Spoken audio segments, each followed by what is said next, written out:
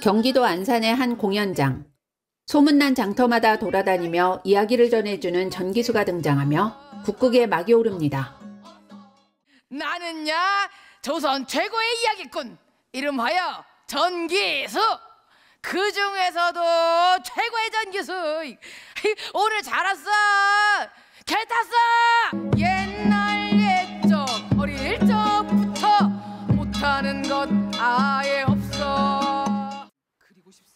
가난했지만 그림 그리기를 좋아했던 청년 김홍도의 순수한 꿈을 판소리 연극 무용으로 담아낸 화인전. 그림 그리는 것이 그렇게 좋으냐? 네, 할 수만 있다면 평생 그림만 그리며 살고 싶습니다.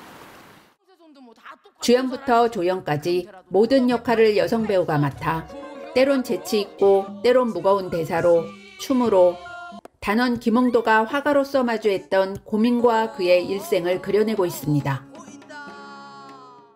내 나이가 벌써 부록인데 그림도 이루지 못했고 벼슬길은 나아지는 게 하나 없고 넌 모를 거다. 하루하루 시험대 위에서 살아야 하는 이 심정을. 이도 저도 아닌 채로 인생이 끝나버릴 것만 같아 객석을 가득 메운 관객들로 뜨거운 열기와 기대가 느껴지는데요. 청년부터 노인까지 다양한 연령대의 관객들이 눈길을 끕니다. 인전은 화가 김홍도의 인생 이야기를 창과 재담으로 재미있게 꾸몄는데요.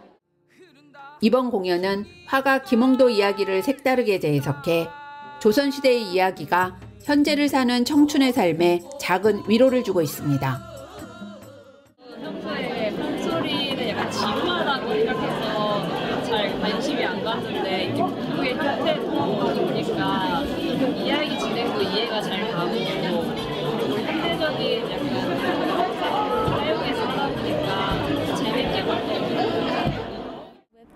정년이를 통해서 먼저 여성국극을 접하게 되었는데 그 이후에 SNS에서 이렇게 안산 달맞이 극장에서 진행하는 여성국극을 홍보하시길래 궁금해서 왔습니다.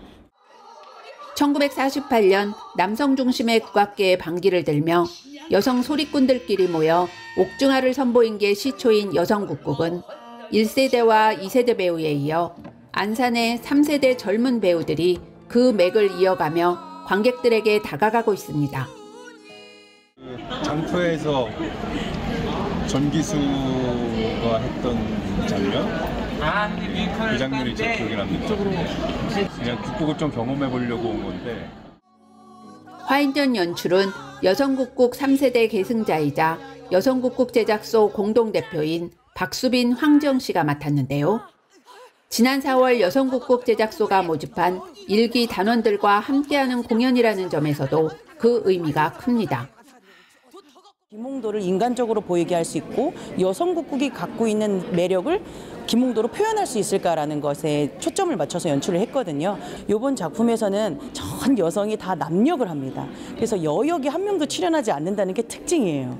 그래서 약간의 브로맨스도 담고 있고 창과 재담으로 구성된 여성국극은 전통과 오늘날 뮤지컬이 합쳐진 새로운 장르로 평가받고 있습니다. 안산문화재단 상주단체인 여성국극 제작소가 지난 2020년부터 지역사회에 자리를 잡고 여성국극의 맥을 이어오고 있는데요. 최근 웹툰에 이어 창극과 드라마가 만들어지는 등 재조명에 힘입어 부활에 대한 기대감이 커지고 있습니다.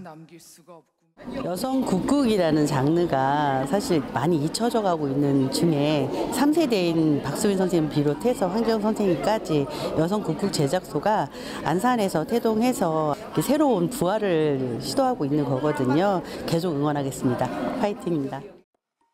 여성 국극 제작소는 화인전에 이어 내년 상반기에 여성 국극 역사를 돌아보는 일종의 복원 공연으로 극단에 들어간 한 여성국국 연수생이 주연이 돼가는 과정을 그린 무대로 관객들을 찾아갈 예정입니다.